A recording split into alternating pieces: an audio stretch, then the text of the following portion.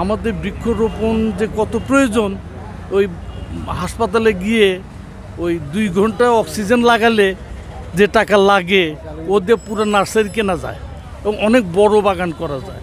আমরা সেখান থেকে বিমুখ হয়ে এখন রয়ে গেছে হাসপাতালে বা ক্লিনিকে যাই অক্সিজেনের জন্য। বাট অক্সিজেনগুলো যে আমাদের ঘরের পাশে লাগানো আছে, এগুলো আমরা চেষ্টা করি। মেলা শুরু হয়েছে গত চব্বিশ তারিখে। আমি আবার অফিস ছুটি বিদায় আমি আজকে আসছি ছুটির দিনে। মেলায় অনেক সমাগম এবং খুব ভালো একটা উদ্যোগ, আয়োজন।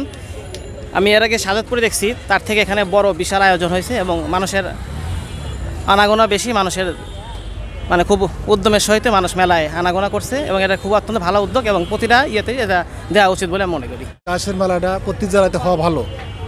গাছ পাওয়া গেলে আমরাও কিনা নিজস্ব জায়গায় তো লাগাতে পারি, সরকার জায়গায় তো লাগাতে পারি। এই জন্য আমাদের উপকৃতই হয়। গাছের দ্বারা আমাদের প্রত্যেকটা মানুষের উপকৃত হয়। পরিবেশ রক্ষা এবং বেঁচে থাকার তাগিদে গাছের লাগানোর গুরুত্ব অনেক বেশি। সিরাজগঞ্জ বৃক্ষ মেলায় আমি এসেছি দেখার জন্য এবং কিছু গাছও নেব। ইতিমধ্যেই আমি আমার নিজস্ব জায়গায় বেশ কিছু গাছ গেড়েছি। আম গাছ, কাঁঠাল গাছ, জাম গাছ, কলা গাছ, আমড়া, পেয়ারা, এগুলো আমি বেশ কিছু গাছ আমি গত মাসে গেড়েছি। গতকালও আমি পাঁচটা গাছ গেড়ে এসেছি। তাছাড়া আমার ছাদে একটা ছাদ বাগান আছে। ছাদ বাগানে আমার আমরা আছে, পেয়ারা আছে কলা আছে, আম আছে, লেবু আছে, বাদামি আছে। এগুলো আমি শখ করেই করেছি আমার ছেলে, আমার ওয়াইফ আমার ছেলে ওয়াইফ সহ, আমার বৌমা সহ, সবাই মিলে আমরা পরিচর্যা করি। এবং বৃক্ষ মেলা এসেছি, এখানে সুন্দরভাবে মেলা অনুষ্ঠিত হচ্ছে। সবারই উচিত এখানে আসা এবং দেখা এবং যার গাছ লাগানোর জায়গা আছে, অন্তত সবাইকে কিছু কিছু গাছ লাগানো উচিত। খুব ভালো লাগছে, গাছ গাছালি যত নিত্য নতুন গাছ দেখলাম, আমি দুটো গাছ কিনবো। খুব ভালো লাগতেছে। আমি একজন গাছপ্রেমী মানুষ, খুব ভালো লাগতেছে। কিন্তু একটা জিনিস যে সাত দিনের মেয়াদ দিছে, এটা ঠিক হয় নাই। আবার তো মিনিমাম পনেরো দিন বা এক মাস হলে ভালো হতো। ছাদ বাগান তো একটা শিল্প। যার আছে, তার সময় কাটানোর কোনো ব্যাপারই না আর মনও ভালো থাকে ভাই। ঠিক আছে? আপনার মন খারাপ থাকলে সাথে যাবেন, ফুল দেখবেন, ফল দেখবেন, একটা ফল তুলে খাবেন, বাহ! মজাই আলাদা। আর এগুলো দেখেন একটু, অনেক সুন্দর সুন্দর কালেকশন আছে। বাগান বিলাসে কত সুন্দর সুন্দর। বৃক্ষ মেলায় আসুন, বেশি বেশি গাছ কিনুন। আমার নাম হাজি মোহাম্মদ রেজাউন নবী খান। আমি অবসরপ্রাপ্ত একজন সরকারি কর্মকর্তা। আর মানুষের প্রয়োজনে, গাছের প্রয়োজন আর গাছের প্রয়োজনে মানুষের জন্য। কেন বলছি? আমাদের পরিবেশ, পরিস্থিতি সব কিছু এক একে আর একের সাথে ওতপ্রোতভাবে জড়িত। কেউ কারোর সাথে আলাদা না। আর এই বৃক্ষমেলা হওয়া উচিত আমাদের প্রায় অনেক দীর্ঘ সময় ধরে।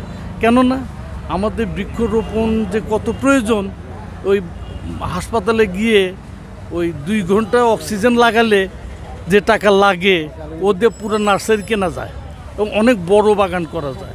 আমরা সেখান থেকে বিমুখ হয়ে এখন রয়ে গেছে হাসপাতালে বা ক্লিনিকে যাই অক্সিজেনের জন্য। বাট অক্সিজেনগুলো যে আমাদের ঘরের পাশে লাগানো আছে এগুলো আমরা চে- চেষ্টা করি। আপনারা এই মেলা থেকে আমরা গাছ কেনেন আর ফল খান ফল খেয়ে শরীরের পুষ্টি বাড়ান। আমরা খুবই ভিটামিন জিনিস বাংলাদেশের সবাই গাছ লাগিয়ে আমরা খাবেন। হ্যাঁ, আমাদের দেশে আমরা প্রাকৃতিকভাবে বেড়ে উঠি এবং এই প্রকৃতিতে আমাদের গাছের আমাদের ব্যক্তি জীবনে গাছ আমাদের অক্সিজেন সরবরাহের জন্য প্রয়োজন হ্যাঁ? গাছ, আমরা গাছকে ভালোবাসি জন্যই আমরা এই মেলায় এসেছি এবং গাছ সংগ্রহ করব এবং এই গাছগুলা বাড়িতে আমরা রোপণ করব এবং আমাদের বাগানে রোপণ করব যাতে আমরা পরবর্তী জাতিকে ভালো অক্সিজেনের মাধ্যমে উৎসাহ দিতে পারি। গাছ আমাদের অক্সিজেন দেয়, আমরা কার্বন ডাইঅক্সাইড ত্যাগ করি এবং গাছ আমাদের পরিবেশ ভারসাম্য রক্ষা করে। অর্থাৎ তারপরে আমাদের গাছের অনেক প্রয়োজনীয়তা আছে আমাদের আসবাবপত্র তৈরিতে আমাদের চিকিৎসা ক্ষেত্রে। আমার কাছে খুব ভালো লাগছে যে মানুষ শুধু গাছ লাগায়, কিন্তু গাছের পরিচর্যা করে না। আর এবারের প্রতিবাদ্য বিষয় আছে, গাছ লাগিয়ে যত্ন করি, সুস্থ প্রজন্মের দেশ গড়ি।